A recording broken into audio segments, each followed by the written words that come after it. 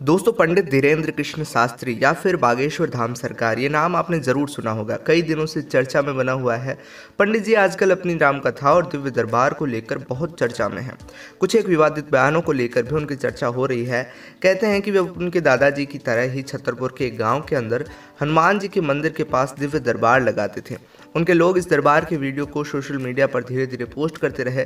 धीरे धीरे वे social media के माध्यम से बहुत लोकप्रिय हो गए। पिछले कुछ एक दिनों से बागेश्वर धाम सरकार ट्विटर पर भी ट्रेंड कर रहा है। इसी के साथ ही सारे न्यूज़ चैनल्स और सब जगह यही न्यूज़ दिखाई जा रही है।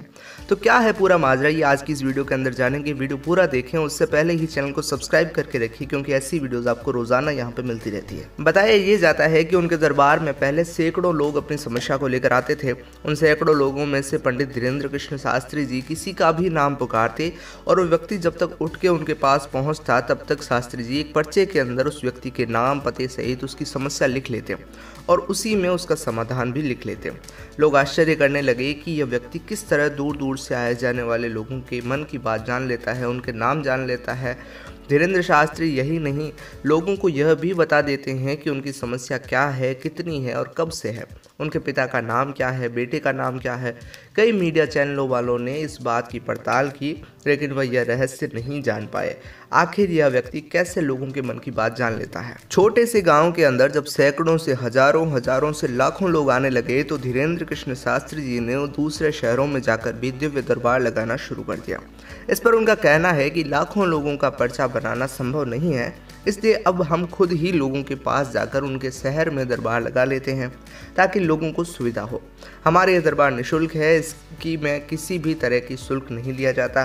मंदिर में या राम कथा में हमें जो भी पैसा मिलता है, हम उसे गरीब की बेटियों की शिक्षा और शादी में खर्च कर देते हैं। पंडित धीरेन्द्र कृष्ण शास्त्री जी जब धीरे धीरे लोकप्रिय होने लगे तो अब वह राम कथा भी कहने लगे। जगह जगह जाकर वे राम कथा कहते हैं और लोगों को हनुमान जी की भक्ति करने के लिए प्रेरित करते हैं। राम कथा के दौरान ही वे कुछ ऐसे भी बोल जाते हैं जिससे विवाद उत्पन्न हो जाता है। हाल ही में उन्होंने रामनवमी के जुलूस पर पत्थर फेंके जाने पर घटना हुई थी। उसके बाद कड़ी प्रतिक्रिया देते हुए हिंदुओं से कहा कि जाग जाओ, वरना जागने का समय नहीं मिलेगा। इसलिए निवेदन है कि सब हिंदू एक हो जाओ और पत्थर मारने वालों के घर पर बुलडोजर चलवाओ।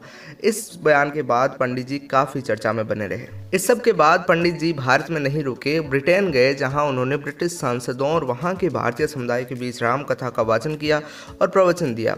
अब उनकी लोकप्रियता देश में ही नहीं, बल्कि विदेश में भी फैल चुकी है। तो दोस्तों, ये तो सारी थी बागेश्वर धाम सरकार के थोड़े से इतिहास और आपको एक परिचय मात्र देने की बात।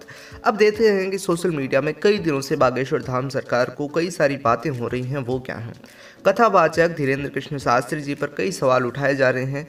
उन्हें लेकर कहा जा रहा है कि देश में अंधविश्वास फैलाने का काम कर रहे हैं। उनके पास कोई सिद्धि नहीं है, बल्कि वह लोगों को भावनाओं के साथ खिलवाड़ कर रहे हैं।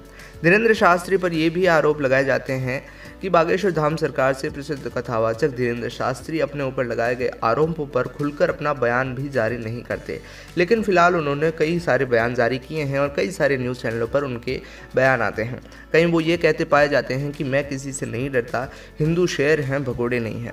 इतना ही नहीं, उन्होंने यह भी कहा कि यहाँ तो लोगों ने भगवान राम को नहीं छोड़ा है, उन पर भी सवाल उठाए हैं। भगवान राम से उनके होने के लिए सबूत मांगा गया है। हम तो आम इंसान हैं, हमें कब छोड़ेंगे? वहीं महाराष्ट्र की संस्था अंधश्रद्धा उन्मूलन समिति के श्याम मानव ने धीरेन्द्र शास्त्री पर अंधविश्वास फैलाने का आरोप लगाया। उन्होंने बागेश्वर धाम सरकार को चुनौती भी दी, व नागपुर में उनके मंच पर आए और अपने चमत्कार दिखाएँ। संस्थान ने कहा कि अगर धीरेन्द्र शास्त्री ऐसा करते हैं तो उन्हें तीस लाख रुपये तक दिए जाएँगे और उनकी चुनौती स्वीकार करें। तो वहाँ से ये खबर सामने आई कि धीरेन्द्र कृष्ण शास्त्री जी ने ये चुनौती स्वीकार नहीं की और वहाँ से डरकर भाग गए। लेकिन आचार्य जी कहते हैं कि वह किसी के डर या चुनौती से वापस नहीं गए। उन्हें किसी के भी प्रमाण पत्र की ज़रूरत नहीं है। धीरेन्द्र शास्त्री जी का कहना है कि हम सात दिन की ही कथा करते हैं। बागेश्वर महाराज का कहना है कि मैं चुनौती स्वीकार करता हूँ, जिसे चमत्कार देखना हो। बागेश्वर दरबार आए। उन्होंने कहा शाम यहाँ रायपुर आए और टिकट का खर्चा मैं दूँगा। बागेश्वर धाम सरकार ने अपने ऊपर लगाए गए आरोप पर कहा कि हम दावा नहीं करते। हम आपकी समस्या को मिटा देंगे। हमें अपने ईश्वर पर विश्वास है। हमारे इष्ट लोगों की परेशानी और तकलीफ़ को दूर करते हैं। उन्होंने कहा कि क्या हनुमान जी की पूजा करना और उनका प्रचार करना गलत है? इतनी सी बात के अंदर पूरा हिंदू समाज जो है वो धीरेन्द्र कृष्ण शास्त्री जी के पीछे आकर खड़ा हो गया और ट्विटर पर बागेश्वर धाम सरकार को ट्रेंड करा दिया गया। तो यही सारी समस्या फ़िलहाल चल रही है धीरेन्द्र कृष्ण शास्त्री जी। आगे क्या करते हैं वो हम आगे की वीडियो के अंदर आपको बताएँगे। फ़िलहाल की सारी हालचाल आपको इस वीडियो के अंदर मिल गई होगी। वीडियो पसंद आए हो तो लाइक कीजिएगा और उनके साथ शेयर ज़रूर से कीजिएगा। वीडियोज़ के अंदर आपको कोई सुधार के सुझाव लगते हो तो उनको कॉमेंट के अंदर लिखिए। आप कहाँ से वीडियो देख रहे हैं ये भी कॉमेंट के अंदर लिखिए। आचार्य धीरेन्द्र कृष्ण शास्त्री जी के बारे में आपके क्या विचार हैं, वो भी कमेंट के अंदर लिखिए। ऐसे वीडियोस देखते रहने के लिए चैनल को सब्सक्राइब कीजिए।